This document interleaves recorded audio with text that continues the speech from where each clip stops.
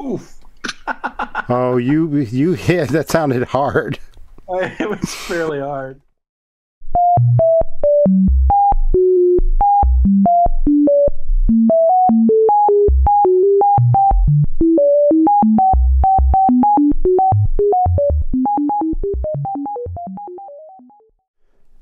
Um, uh, let me say hi for my video.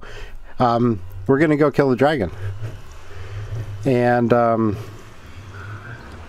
hang on a sec. Stupid portal so loud. Okay. So, um, the dragon's already been killed in this world, as you know. So it's not exactly like you know, like if you were to go in the first time. Um, Mhm. Things should be substantially easier than if uh, if if this were the first time we were going in. And there's two of us, which should help.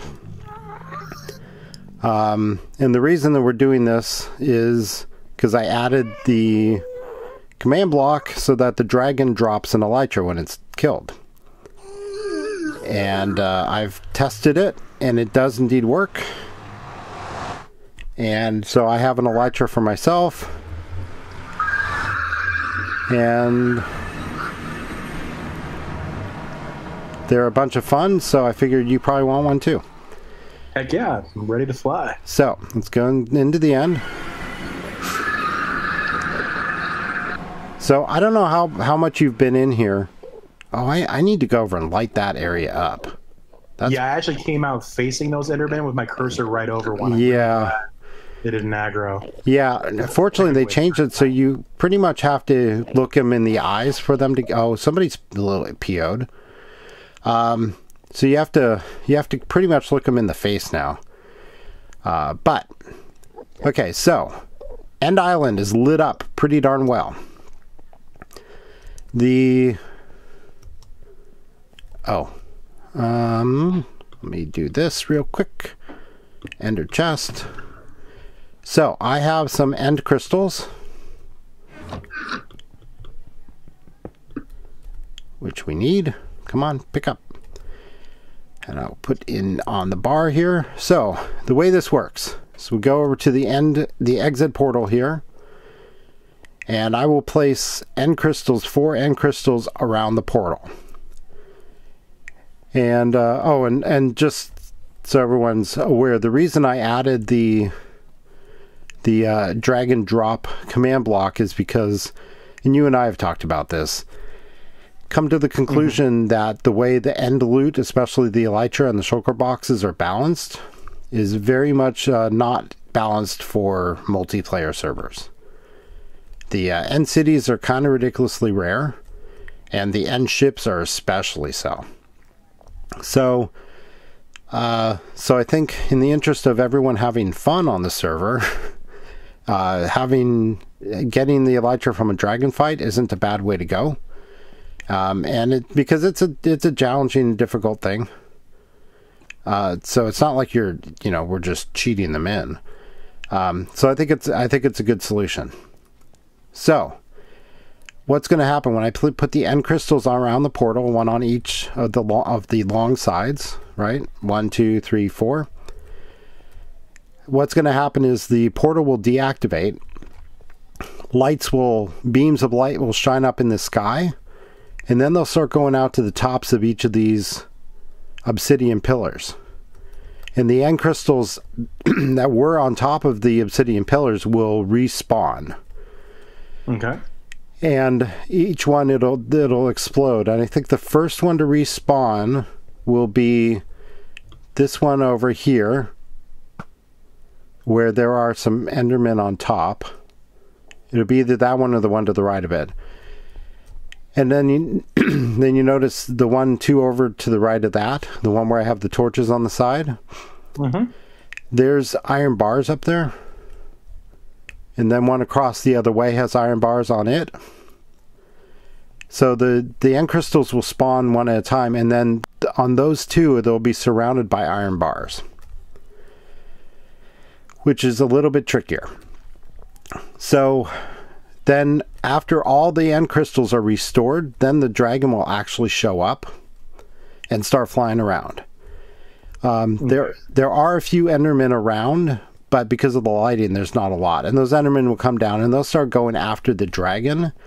And if you happen to be between the dragon and them, it'll look like they're coming for you, but they're not, um, because they really hate the dragon. So the dragon will kill them, and the dragon will try to kill you.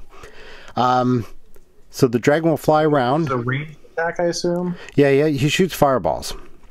Okay. And just like the ghast, he shoots the fireballs at where you are, not where you're going. So if you keep moving, the fireballs are not going to be a problem. Cool. Where the fireballs hit on the ground, it does knock out torches. Um, it also spreads dragon's breath, which, if you stay in it, will hurt you. Not a lot, but just a little bit. It's like poison. So Is that a, visible area of effect on the ground, I assume? Yeah, there's particles. You'll see it. so stay out of that stuff. Or if you find yourself just taking damage for no obvious reason, look down because you're probably standing in some dragon's breath.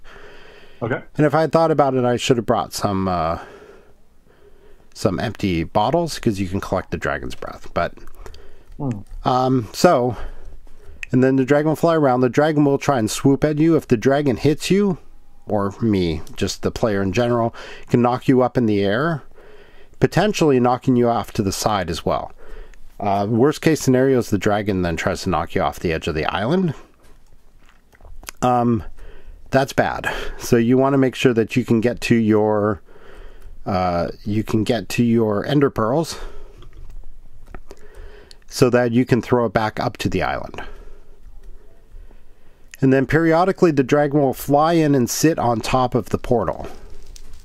So when he's flying around, you can shoot arrows at him. When he's sitting on the portal, you can't, the, the arrows will just bounce off. But the thing is, as long as there's end crystals left, he's just gonna re- he's just gonna recover health anyway. He's just gonna he's just gonna heal up. So there's no point in attacking him until we get rid of all the end crystals. And the end crystals, we just have to shoot arrows at from down here. Or Yeah. The plan?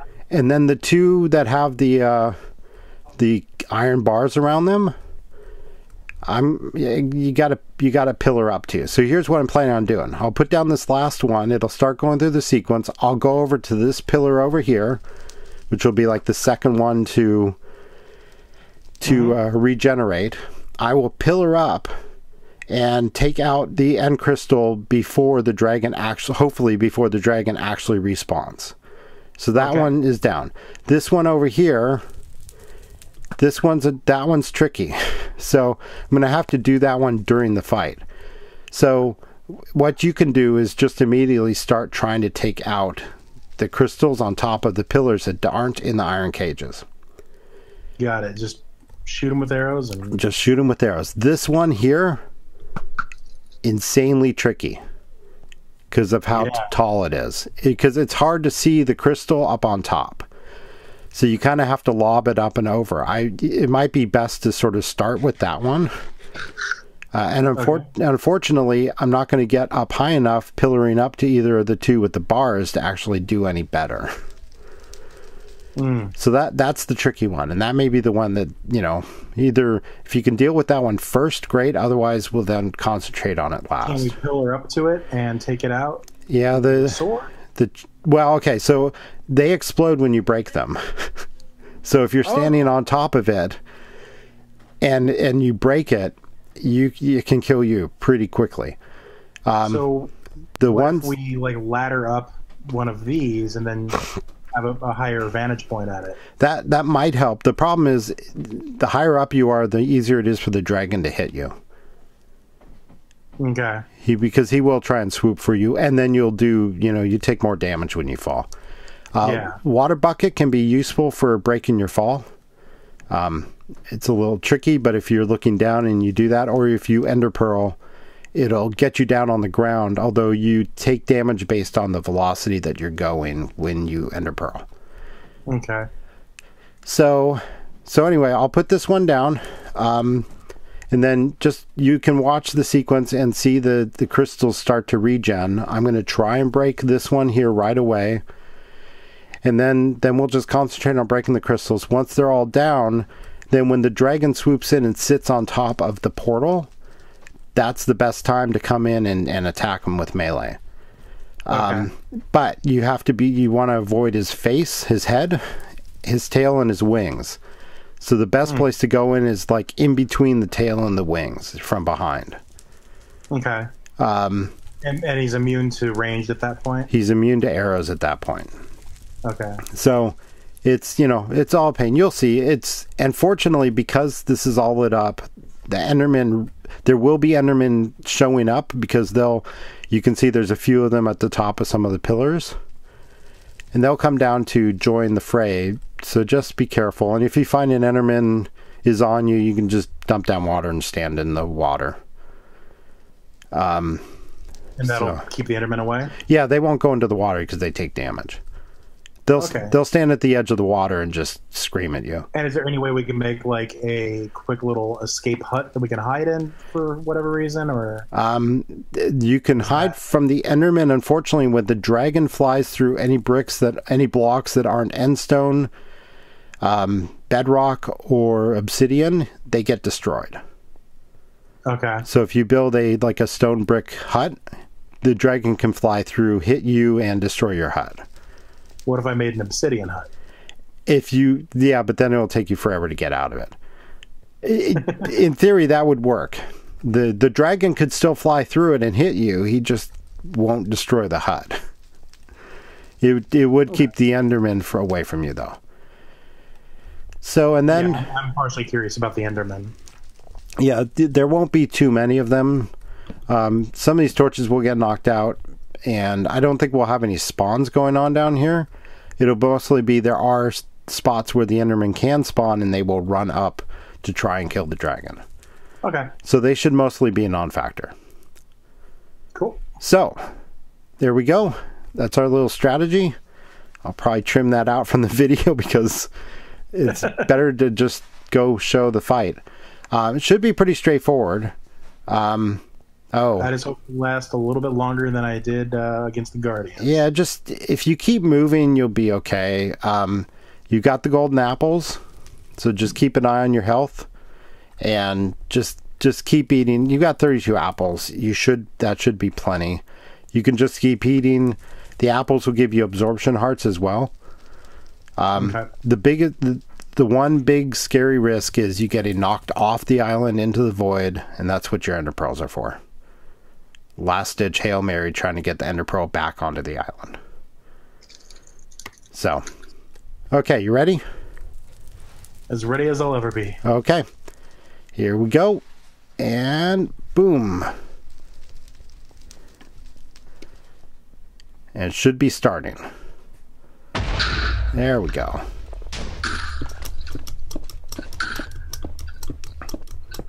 And the reason that I can pillar up and break these uh, ones with iron bars is because if I go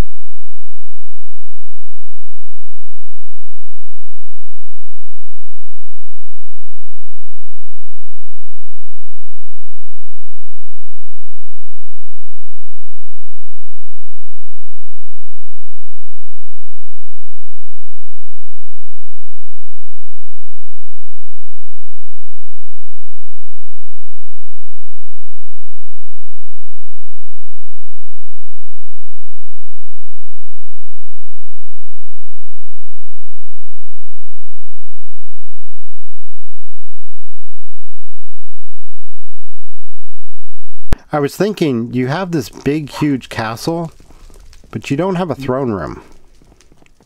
I do not have a throne room. Okay, so like if you wanted to say build an elytra launcher here, where are you? Oh. One thing you can do. Do you have any rockets on you? I do not. Here, let me let me throw you a few here. Um, and you may want to just jump off of things and glide a little bit before you get into the rockets. But our little uh, spider web here, Mm-hmm. Oh, cool. so you can you can get into flying mode while you're falling in a spider web.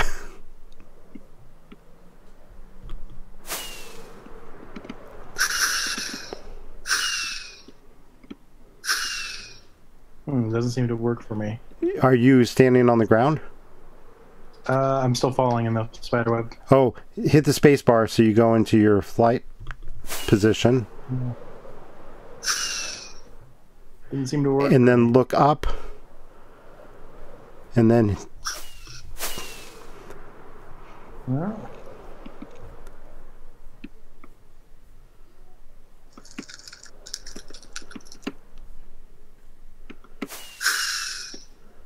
Oh, you you weren't in flight mode there.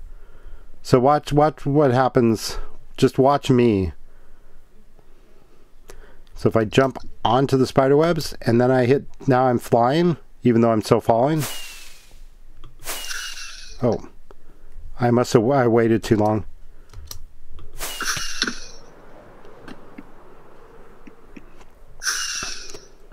So do you have to aim up with the rocket? Is that how it works? Yeah, the rocket boosts you in the direction that you're facing.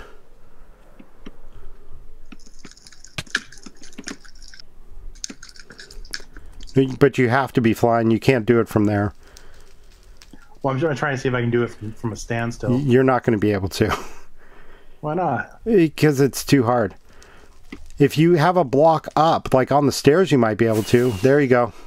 I wasn't even on the stairs. Yeah, you were. No, it wasn't. Yeah, you were. I have footage. Liar. I have footage. I'm recording. Lies. Oh my gosh, I'm on the top of my tower. So now there's particles that stream out in, in your face, and you, they'll they'll go for the duration of the rock of the firework.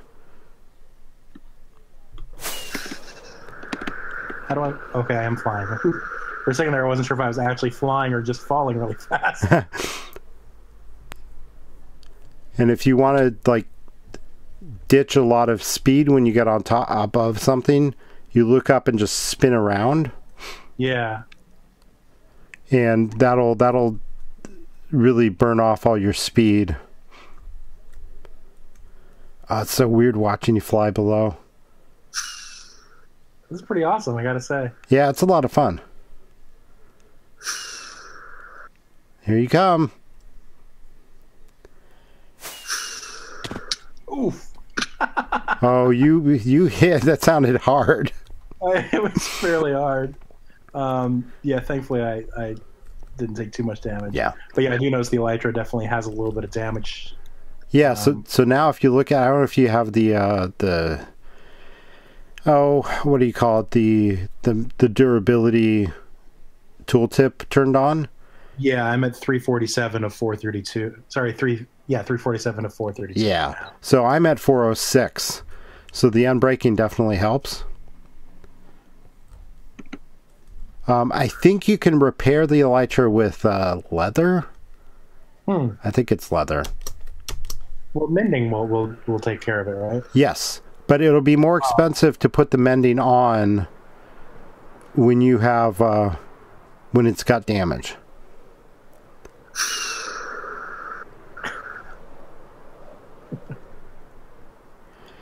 And you'll see, even without the rockets, by tilting down a little bit to get a little bit of speed and then tilting up, you can Oh. you can maintain altitude pretty well over long periods of time. The angle that you're uh, aiming at is kind of important. Yeah.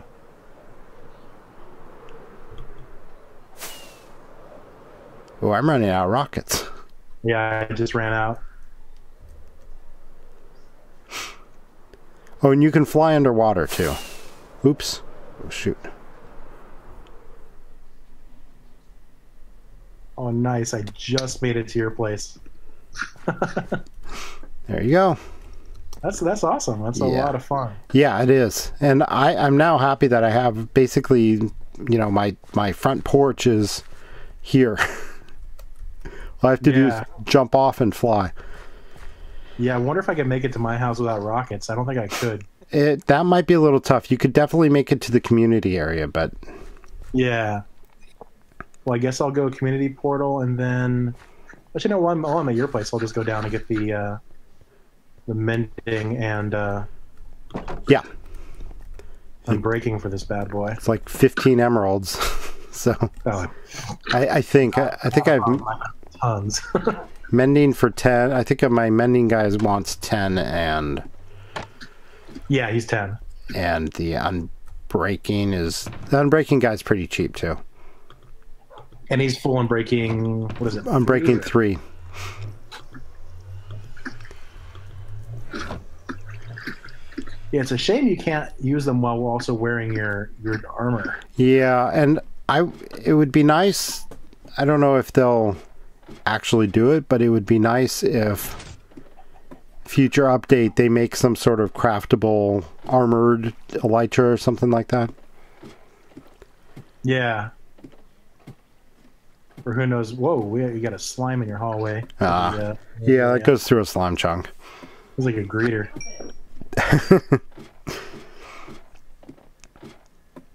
so see now I just need to find the uh, new location for everybody. So let me grab my toolbox, which has my books in it. I'll two of those bad boys. I think I think the mending guy is definitely on the bottom floor. He might be in the fourth, the the second set of uh, of stalls. Um, Okay. Let's see here. Yeah, so what would be kind of mean would be to put curse of binding on. Uh, yeah, actually, they're both right over here. So the mending guy wants 10. Unbreaking 3 wants 27. Which isn't super cheap, but it's not too bad. Oh yeah, and with with all the emeralds I have from all the trading I've been doing. And I'm up to No. 5 iron golems. Jeez.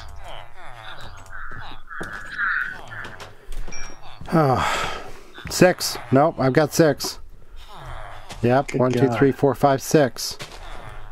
Ugh.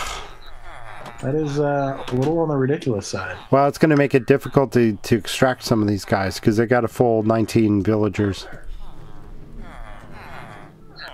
I got two white coats. Let's see what uh, what they are.